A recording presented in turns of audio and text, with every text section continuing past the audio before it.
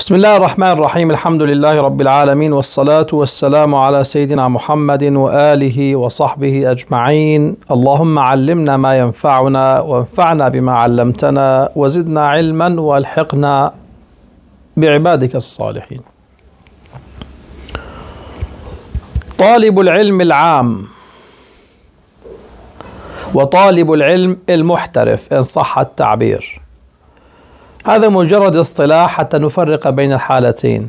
ما معنى طالب العلم العام؟ يعني كل إنسان مسلم ينبغي أن يكون طالبا للعلم. قل هذه سبيلي أدعو إلى الله على بصيرة. فلا يمكن لي أن أدعو إلى الله إلا على بصيرة. وكل مسلم مكلف بالدعوة إلى الله سبحانه وتعالى كما قال سيدنا عليه الصلاة والسلام بلغوا عني ولو آية. لكن ليس معناها أنه صار شيخا عالما لا. يبلغ حديثا سمعه من أحد العلماء والصالحين بفهمه ومعناه فالناس بعد ذلك يعني يستفيدون منه. تريد أن تصلي. وهذا أمر غريب جدا. يدل على تخلف المسلمين العظيم. جرب هذا. سل المصلين في المسجد. في أكبر مسجد من مساجد المسلمين. وانظر إلى من يصلي من هؤلاء وهم يصلون جميعا.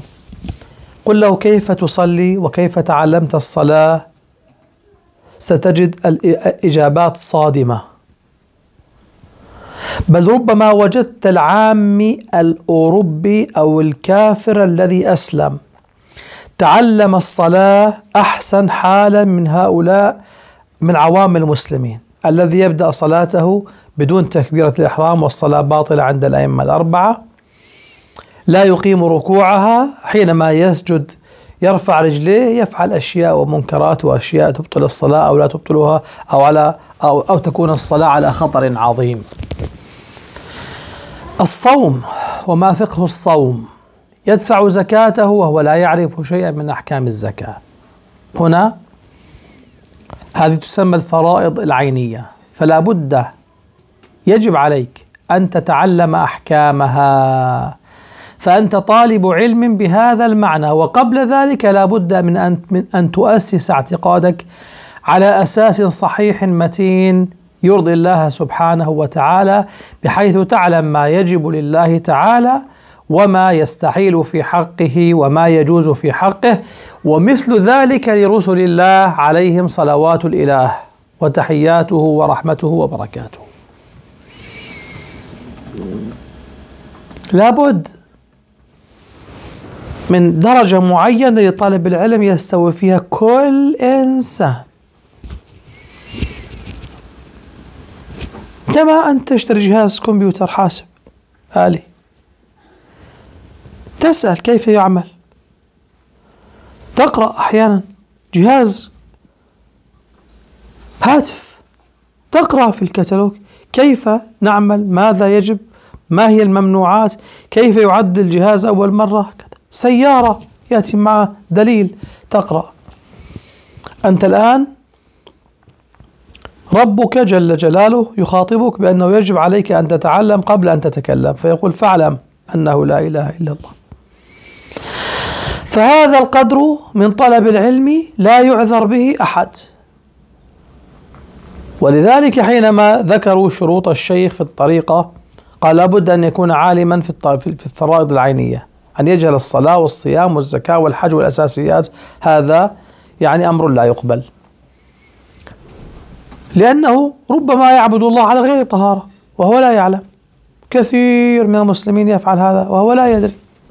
أشياء ليست بناقضة للوضوء فيتوضأ لها. قل هنا الأمر يسير. أشياء ناقضة وهو لا يعلم وهو مستمر على صلاته أو الصلاة والصلاة باطلة. هذا يوجد أشياء يعني تعطيك عموميات أساسيات. يعني في المذهب الحنفي كتب الشيخ علاء الدين عابدين الهدية العلائية لطلاب المدارس الابتدائية. يعطيك أشياء أساسيات هكذا. لابد أن تعلمها. وكتب الشيخ النحلاوي كتابا سماه الحظر والإباحة. تعلم ما هو حلال وما هو حرام. هذه أساسيات لا يعذر إنسان بجهلها. وكتب بعض شيوخ الأزهر في عقيدة العوام كالشيخ الفضالي.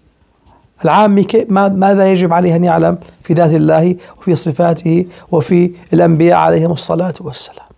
هذا القدر الأساسي من الدين يجب أن يعلمه كل مسلم. يعلم الإلهيات يعلم النبوات يعلم السمعيات. أنه في يوم آخر وفي جنة وفي حساب وفي عقاب وفي منكر ونكير وفي عذاب للقبر وأشياء من هذا. طبعا معرفة العام أو البسيط ليست معرفة متخصصة. فإذا ما قرأ فقه الصلاة لا يخوض في تفاصيل آه، الجزئيات. وخلاف قال أبو حنيفة وقال زفر وقال آه، أبو يوسف وكذا. أو الشافعي يقول في وجه كذا وفي وجه كذا ثم التفصيلات. العامي ليس بحاجة إلى هذا. يعلم الأساسيات. طالب العلم المتخصص. كنت في مرحلة الماجستير أو الدكتوراه وكان هناك كل الحاضرين طلاب ماجستير أو دكتوراه على ما أذكر يعني كلهم يعني.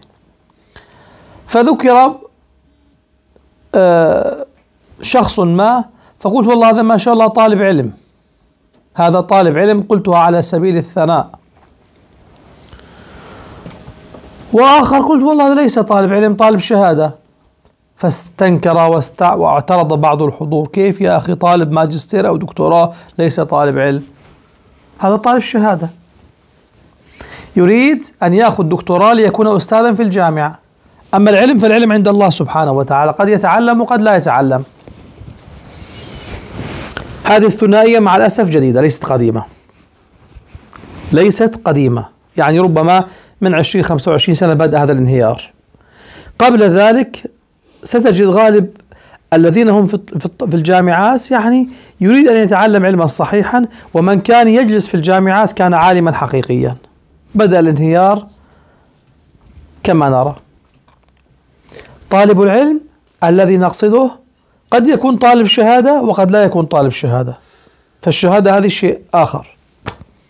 هذا إنسان عنده منهجية دقيقة يبدأ بعلوم الآلة يبدأ بالأساسيات كالتجويد والقرآن وكذا. ينطلق بعد ذلك يترقى في علوم الوسائل وعلوم المقاصد ضمن منهاج دقيق ويلازم الشيوخ ووقته إما علم وإما تعليم.